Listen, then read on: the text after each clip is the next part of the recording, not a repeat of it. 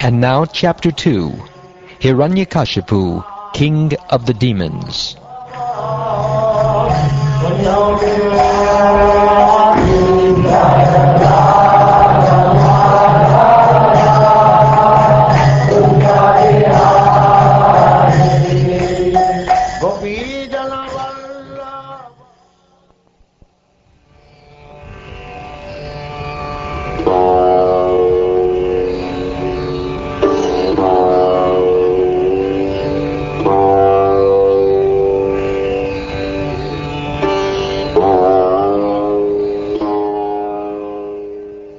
Narad Muni said, My dear King Yudhishthir, when Lord Vishnu, in the form of Varaha, the boar, killed Hiranyaksha, Hiranyaksha's brother Hiranyakashipu was extremely angry and began to lament. Filled with rage and biting his lips, Hiranyakashipu gazed at the sky with eyes that blazed in anger, making the whole sky smoky. Thus he began to speak. Exhibiting his terrible teeth, fierce glance, and frowning eyebrows, terrible to see, he took up his weapon, a trident, and thus began speaking to his associates, the assembled demons. O Danavas and Daityas, O Dvimurdha, Triaksha, Shambara, and Shatabahu, O Hayagriva, Namuchi, Paka, and Ilvala, O Viprachiti, Puloman, Shakuna, and other demons, all of you kindly hear me attentively, and then act according to my words without delay. My insignificant enemies, the demigods, have combined to kill my very dear and obedient well-wisher, my brother Hiranyaksha. Although the Supreme Lord, Vishnu, is always equal to both of us, namely the demigods and the demons, this time, being devoutly worshipped by the demigods, he has taken their side and helped them kill Hiranyaksha. The Supreme Personality of Godhead has given up his natural tendency of equality toward the demons and demigods. Although he is the Supreme Person, now, influenced by Maya, he has assumed the form of a boar to please his devotees, the demigods, just as a restless child leans toward someone. I shall therefore sever Lord Vishnu's head from his trunk by my trident, and with the profuse blood from his body, I shall please my brother Hiranyaksha, who was so fond of sucking blood. Thus shall I too be peaceful. When the root of a tree is cut, and the tree falls down, its branches and twigs automatically dry up. Similarly, when I have killed this diplomatic Vishnu, the demigods, for whom Lord Vishnu is the life and soul, will lose the source of their life and wither away. While I am engaged in the business of killing Lord Vishnu, go down to the planet Earth, which is flourishing due to Brahminical culture and a Kshatriya government. These people engage in austerity, sacrifice, Vedic study, regulative vows, and charity. Destroy all the people thus engaged. The basic principle of Brahminical culture is to satisfy Lord Vishnu, the personification of sacrificial and ritualistic ceremonies. Lord Vishnu is the personified reservoir of all religious principles, and he is the shelter of all the demigods, the great Pitas, and the people in general. When the Brahmins are killed, no one will exist to encourage the Kshatriyas to perform yajnas, and thus the demigods, not being appeased by yajna, will automatically die. Immediately go wherever there is good protection for the cows and Brahmins, and wherever the Vedas are studied in terms of the Varnashram principles. Set fire to those places, and cut from the roots the trees there, which are the source of life.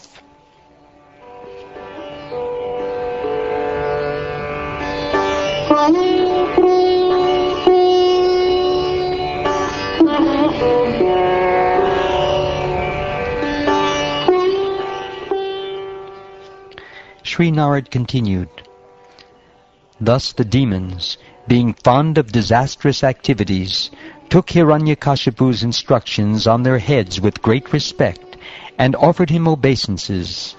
According to his directions, they engaged in envious activities directed against all living beings. The demons set fire to the cities, villages, pasturing grounds, cow pens, gardens, agricultural fields, and natural forests. They burned the hermitages of the saintly persons, the important mines that produced valuable metals, the residential quarters of the agriculturalists, the mountain villages, and the villages of the cow protectors, the cowherd men. They also burned the government capitals. Some of the demons took digging instruments and broke down the bridges, the protective walls, and the gates of the cities. Some took axes and began cutting the important trees that produced mango, jackfruit, and other sources of food. Some of the demons took firebrands and set fire to the residential quarters of the citizens. Thus disturbed again and again by the unnatural occurrences caused by the followers of Hiranyakashipu, all the people had to cease the activities of Vedic culture. Not receiving the results of yajna, the demigods also became disturbed.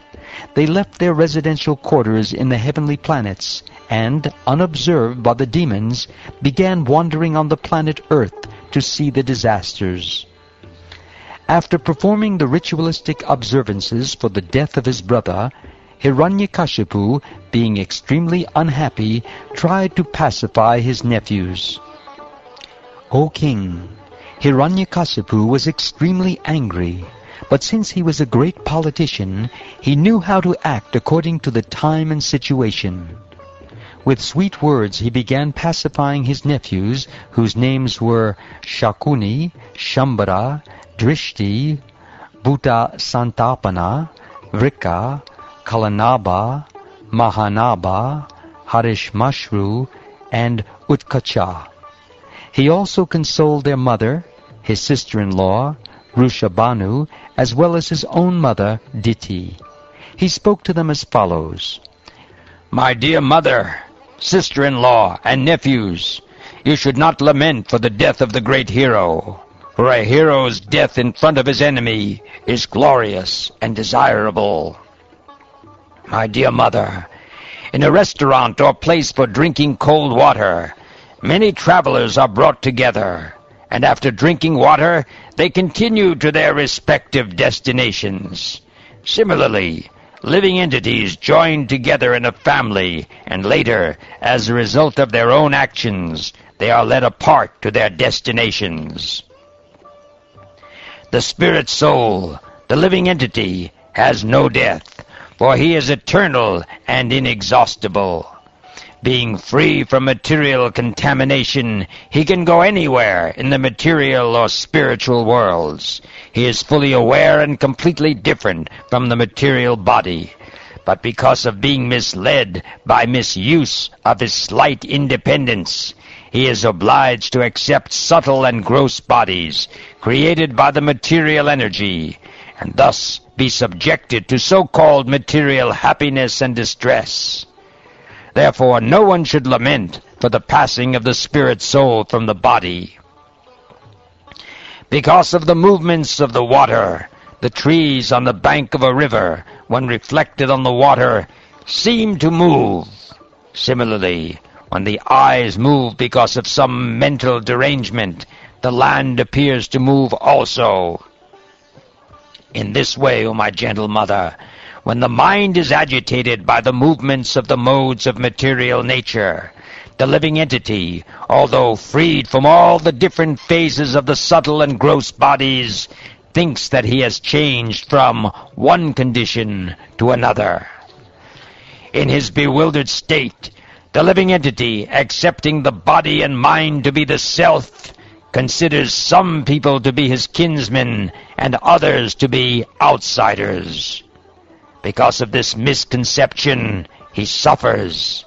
Indeed, the accumulation of such concocted material ideas is the cause of suffering and so-called happiness in the material world. the conditioned soul thus situated must take birth in different species and work in various types of consciousness, thus creating new bodies. This continued material life is called samsara. Birth, death, lamentation, foolishness, and anxiety are due to such material considerations. Thus we sometimes come to a proper understanding, and sometimes fall again to a wrong conception of life. In this regard, an example is given from an old history. This involves the discourse between Yamaraj and the friends of a dead person. Please hear it attentively. In the state known as Ushinara, there was a celebrated king named Suyagya.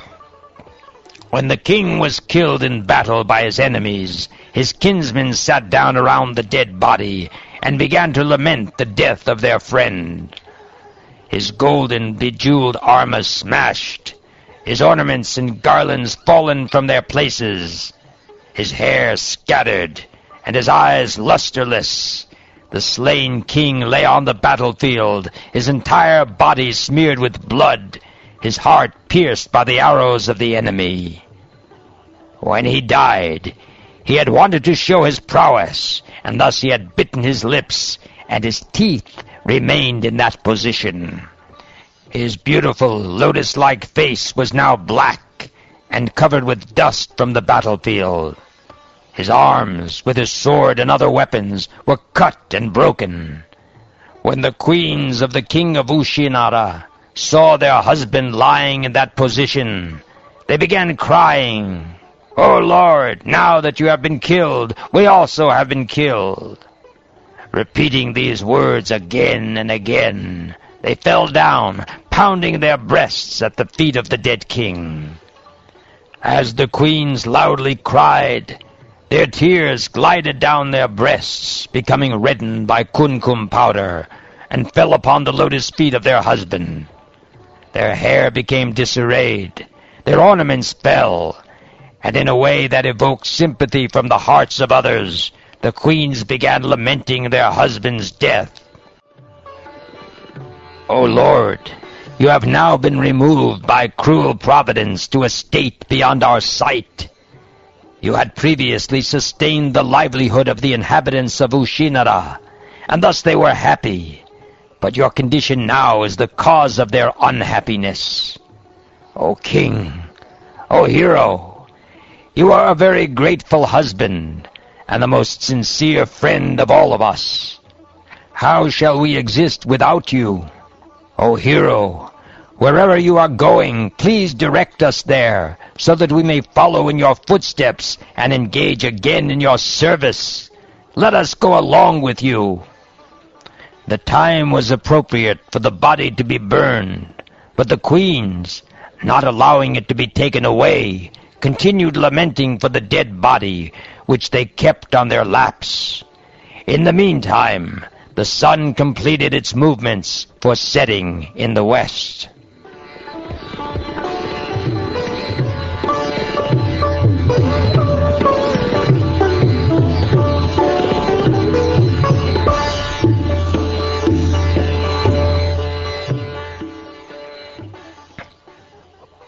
While the queens were lamenting for the dead body of the king, their loud cries were heard even from the abode of Yamaraj. Assuming the body of a boy, Yamaraj personally approached the relatives of the dead body and advised them as follows. He said, Alas, how amazing it is! These persons who are older than me have full experience that hundreds and thousands of living entities have taken birth and died. Thus, they should understand that they also are apt to die, yet still they are bewildered. The conditioned soul comes from an unknown place and returns after death to that same unknown place. There is no exception to this rule, which is conducted by material nature. Knowing this, why do they uselessly lament? It is wonderful that these elderly women do not have a higher sense of life than we do. Indeed, we are most fortunate, For although we are children and have been left to struggle in material life unprotected by father and mother, and although we are very weak, we have not been vanquished or eaten by ferocious animals. Thus, we have a firm belief that the Supreme Personality of Godhead, who has given us protection even in the womb of the mother, will protect us everywhere. O weak women, only by the will of the Supreme Personality of Godhead, who is never diminished, is the entire world created, maintained, and again annihilated. This is the verdict of the Vedic knowledge. This material creation, consisting of the moving and non-moving, is exactly like his plaything. Being the Supreme Lord, he is completely competent to destroy and protect. Sometimes one loses his money on a public street where everyone can see it, and yet his money is protected by destiny and not seen by others. Thus the man who lost it gets it back. On the other hand, if the Lord does not give protection, even money maintained very securely at home is lost. If the Supreme Lord gives one protection, even though one has no protector and is in the jungle, one remains alive, whereas a person well protected at home by relatives and others sometimes dies, no one being able to protect him. Every conditioned soul receives a different type of body according to his work, and when the engagement is finished, the body is finished. Although the spirit soul is situated in subtle and gross material bodies in different forms of life, he is not bound by them, for he is always understood to be completely different from the manifested body. Just as a householder, although different from the identity of his house, thinks his house to be identical with him, so the conditioned soul, due to ignorance, accepts the body to be himself, although the body is actually different from the soul. This body is obtained through a combination of portions of earth, water, and fire. And when the earth, water, and fire are transformed in the course of time, the body is vanquished. The soul has nothing to do with this creation and dissolution of the body. As fire, although situated in wood, is perceived to be different from the wood, as air, although situated within the mouth and nostrils, is perceived to be separate, and as the sky, although all-pervading, never mixes with anything, so the living entity, although now encaged within the material body, of which it is the source, is separate from it. O lamenters, you are all fools. The person named Suyagya, for whom you lament, is still lying before you and has not gone anywhere. Then what is the cause for your lamentation? Previously he heard you and replied to you, but now, not finding him, you are lamenting. This is contradictory behavior, for you have never actually seen the person within the body who heard you and replied. There is no need for your lamentation, for the body you have always seen is lying here. In the body, the most important substance is the life air, but that also is neither the listener nor the speaker. Beyond even the life air, the soul also can do nothing, for the super soul is actually the director in cooperation with the individual soul. The super soul, conducting the activities of the body, is different from the body and living force. The five material elements, the ten senses, and the mind all combine to form the various parts of the gross and subtle bodies. The living entity comes in contact with his material bodies, whether high or low, and later gives them up by his personal prowess. This strength can be perceived in a living entity's personal power to possess different types of bodies. As long as the spirit soul is covered by the subtle body consisting of the mind, intelligence, and false ego, he is bound to the results of his fruitive activities. Because of this covering, the spirit soul is connected with the material energy and must accordingly suffer material conditions and reversals continually, life after life. It is fruitless to see and talk of the material modes of nature and their resultant so-called happiness and distress as if they were factual. When the mind wanders during the day and a man begins to think himself extremely important, or when he dreams at night and sees a beautiful woman enjoying with him, these are merely false dreams. Similarly, the happiness and distress caused by the material senses should be understood to be meaningless. Those who have full knowledge of self-realization, who know very well that the spirit soul is eternal, whereas the body is perishable, are not overwhelmed by lamentation. But persons who lack knowledge of self-realization certainly lament. Therefore, it is difficult to educate a person in illusion. There was once a hunter who lured birds with food and captured them after spreading a net. He lived as if appointed by death personified, as the killer of the birds. While wandering in the forest, the hunter saw a pair of kulinga birds. Of the two, the female was captivated by the hunter's lure. O queens of Suyagya, the male kulinga bird, seeing his wife put into the greatest danger in the grip of providence, became very unhappy. Because of affection, the poor bird, being unable to release her, began to lament for his wife. He said, Alas, how merciless is Providence! My wife, unable to be helped by anyone, is in such an awkward position and lamenting for me. What will Providence gain by taking away this poor bird? What will be the profit? If unkind Providence takes away my wife, who is half my body, why should he not take me also? What is the use of my living with half of my body bereaved by loss of my wife? What shall I gain in this way? The unfortunate baby birds, bereft of their mother, are waiting in the nest for her to feed them. They are still very small and have not yet grown their wings. How shall I be able to maintain them? Because of the loss of his wife, the Kulinga bird lamented with tears in his eyes.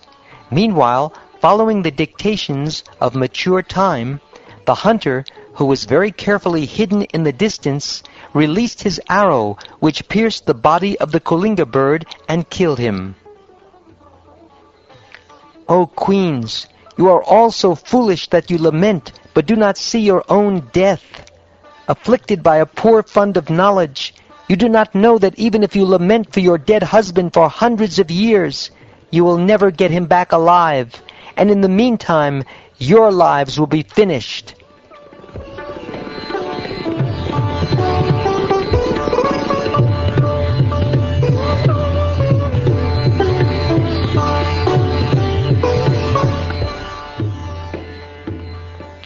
Hiranyakasipu said, While Yamaraj, in the form of a small boy, was instructing all the relatives surrounding the dead body of Suyagya, everyone was struck with wonder by his philosophical words. They could understand that everything material is temporary, not continuing to exist. After instructing all the foolish relatives of Suyagya, Yamaraj, in the form of a boy, disappeared from their vision. Then the relatives of King Suyagya performed the ritualistic funeral ceremonies. Therefore, none of you should be aggrieved for the loss of the body, whether your own or those of others. Only in ignorance does one make bodily distinctions, thinking, Who am I? Who are the others? What is mine? What is for others?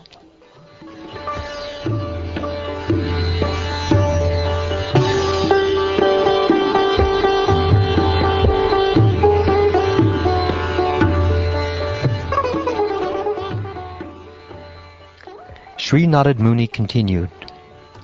Diti, the mother of Hiranyakasipu and Hiranyaksha, heard the instructions of Hiranyakasipu along with her daughter-in-law, Rushabanu, Hiranyaksha's wife.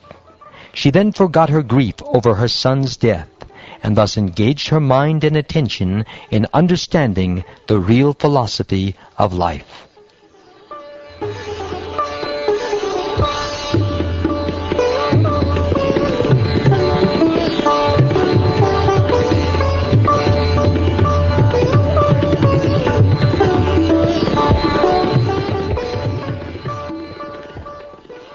Thus ends the second chapter of the seventh canto of the Srimad Bhagavatam, entitled Hiranyakashipu, King of the Demons.